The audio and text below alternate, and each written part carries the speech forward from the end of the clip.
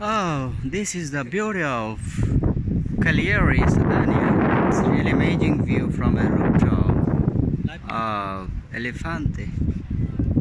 And this is the ship we are going from here to Palermo this evening. Really amazing how they arrange these all situations. There's wonderful traditional buildings.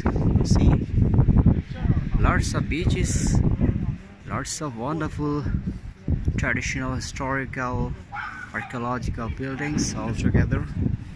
And so in a word I can say that they are managing everything very well.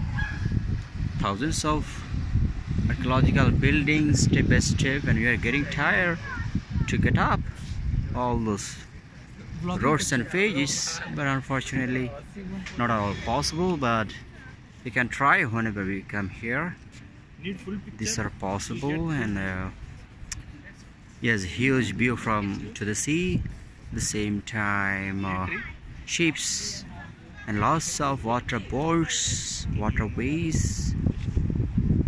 And uh, what I miss here is literally some Bangladeshi or Indian foods this port others are very well. This is also a restaurant where you can get Italian and variety of foods with I think minimum prices. I don't know. So I hope this view will entertain you to enrich your interest of trees and I hope this is the top of this uh, port. You can try once.